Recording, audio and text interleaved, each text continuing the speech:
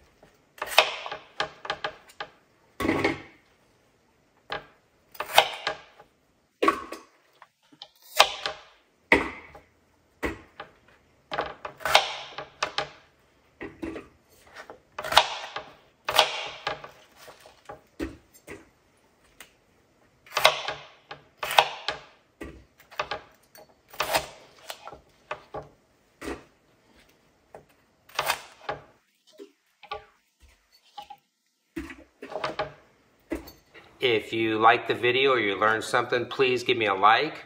Subscribe if you already haven't because it really helps me out.